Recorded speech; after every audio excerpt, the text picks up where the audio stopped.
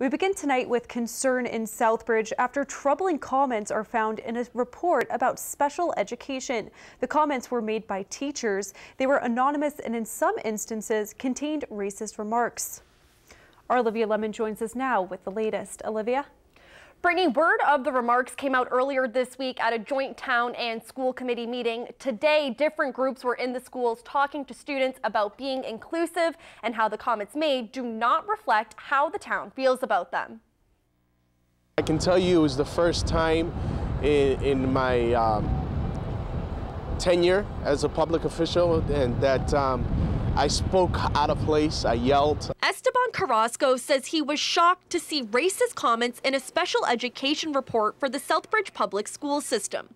Carrasco is the chairman of the town's council. He says the report was requested to be done by the new superintendent to identify what was working well and ways to better serve students. This past Tuesday night, um, for sake of transparency, um, um, the superintendent reached out to me and said, I want to hold a joint meeting because um, I want the town council to also know with the school committee what the findings are of this report. The comments in the 53-page report are from special education teachers, but they are anonymous, so there is no way to identify who wrote them.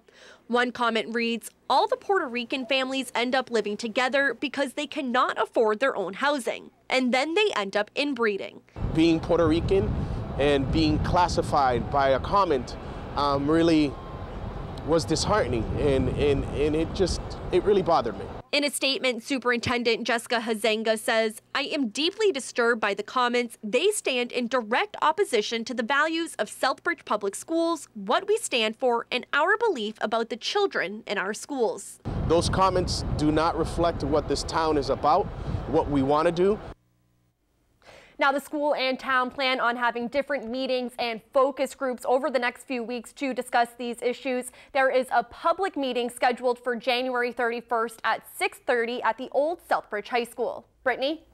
Olivia, thank you for